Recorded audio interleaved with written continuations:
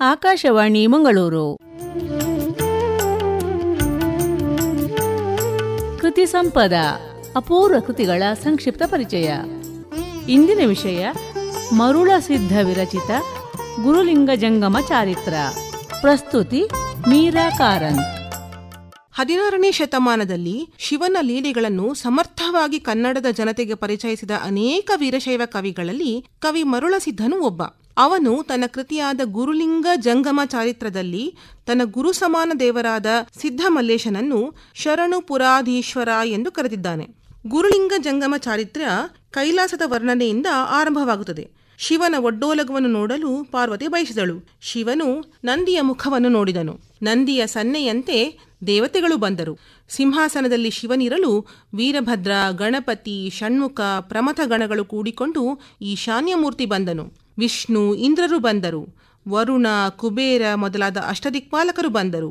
ಹಗಲು, ರಾತ್ರಿ, ದಿನಮಾನ, ಸಂವತ್ಸರಗಳು, ನವಗ್ರಹಗಳು, ಧ್ರುವ ಮೊದಲಾದ ನಕ್ಷತ್ರಗಳು ಬಂದವು. ಭೃಗು, ಗೌತಮ ದದೀಚಿ ವಸಿಷ್ಠ, ದೂರ್ವಾಸ, ಅಗಸ್ತ್ಯ ಮೊದಲಾದ ಋಷಿ ಮುನಿಗಳು ಬಂದರು. ಪಾತಾಳ ಲೋಕದ ನಾಗರು, ಭೂಲೋಕದ ಶರಣರು, ಸ್ವರ್ಗಲೋಕದ ದೇವತೆಗಳು ಬಂದರು. ಪಾರ್ವತಿ ಸೃಷ್ಟಿಯ ವಿವರಗಳನ್ನು ತಿಳಿಯಲು ಅಪೇಕ್ಷಿಸಿದಳು. ಶಿವನು ಹೇಳತೊಡಗಿದನು. ಶಿವನು ಗಿರಿಜೆಗೆ ಹೇಳಿದ್ದನ್ನು ಮರಳುಸಿದ್ದನು ತನ್ನ ಗುರುಲಿಂಗ ಜಂಗಮ ಚಾರಿತ್ರದಲ್ಲಿ ವಿವರಿಸುತ್ತಾನೆ. ಆಕಾಶದಲ್ಲಿ ತೋರುವ ಮಿಂಚಿನಂತೆ ಸಾಕಾರ ರೂಪವಾಗಿ ಶಿವನು ಲೋಕಸೃಷ್ಟಿಗೆ ತಾನು ಬೀಜವೋ ಎನ್ನುವಂತೆ ಆಕಾರವಾಗಿ ತೋರಿದನು. ಬ್ರಹ್ಮ, ವಿಷ್ಣು, ರುದ್ರರಿಗೆ ಸೃಷ್ಟಿ, ಸ್ಥಿತಿ ಲಯಗಳನ್ನು ನೇಮಿಸಿದನು. ಲಕ್ಷ್ಮಿ, ಸರಸ್ವತಿ, ಕಾಳಿಯರನ್ನು ಸೃಷ್ಟಿಸಿದನು. ನವಬ್ರಹ್ಮರು ಜನಿಸಿದರು. ಅತ್ತಳ ವಿತ್ತಳ ಪಾತಾಳಾದಿ ಏಳು ಲೋಕಗಳು ಹುಟ್ಟಿದವು. ಬ್ರಹ್ಮನು ಸುರಪುರ ಮುಂತಾದವುಗಳನ್ನು ಸೃಷ್ಟಿಸಿದನು. ಕಾಮಧೇನು, ಕಲ್ಪವೃಕ್ಷಗಳು ಆದವು. ಹರನು ಗುರುಲಿಂಗ ಜಂಗಮ ರೂಪವಾಗಿಯೇ ಎಲ್ಲರಿಂದಲೂ ಪೂಜಿಸಿಕೊಳ್ಳುತ್ತಾನೆ.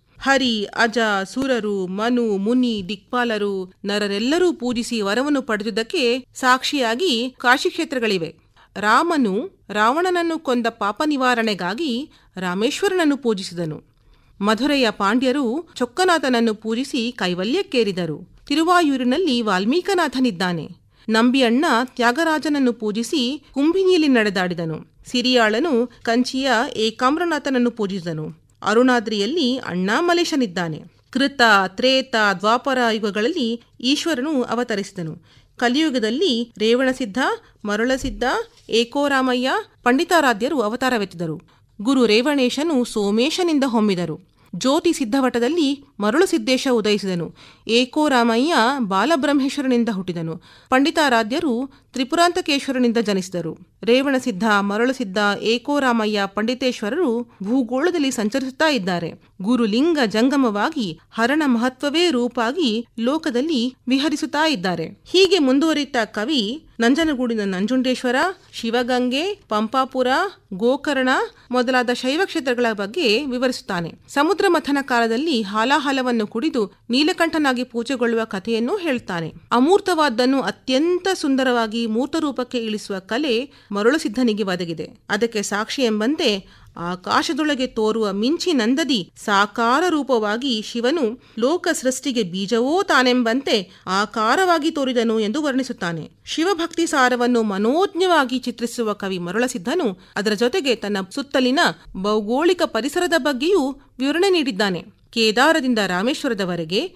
ಗೋಕರ್ಣದಿಂದ ಕುಂಭಕೋಣದವರೆಗೆ ಈ ಚಾರಿತ್ರಿಕ ಕಾವ್ಯದ ಭೌಗೋಳಿಕ ಹರಹಿದೆ. ಈ ಮೂಲಕ ಕೃತಿಯು ತನ್ನ ಸಮಕಾಲೀನ ಇತಿಹಾಸಕ್ಕೆ ಸ್ಪಂದಿಸಿ ದಾಖಲಿಸುವ ಮೂಲಕ ಮಾಹಿತಿಗಳ ಆಕರವಾಗಿ ಸಮರ್ಥ ಕೃತಿಯಾಗಿದೆ ಇದುವರೆಗೆ ಕೃತಿ ಸಂಪದ, ಅಪೂರ್ವ ಕೃತಿಗಳ ಸಂಕ್ಷಿಪ್ತ ಪರಿಚಯ ಕೇಳಿದಿರಿ. ಇಂದಿನ ವಿಷಯ ಮರುಳ ಸಿದ್ಧ ವಿರಚಿತ ಗುರುಲಿಂಗ ಜಂಗಮ ಚಾರಿತ್ರ. ಪ್ರಸ್ತುತಿ ಮೀರಾ ಕಾರಂತ್ ಕಾರ್ಯಕ್ರಮ ನಿರ್ಮಾಣ ಸೂರ್ಯನಾರಾಯಣ ಭಟ್ ಪಿಎಸ್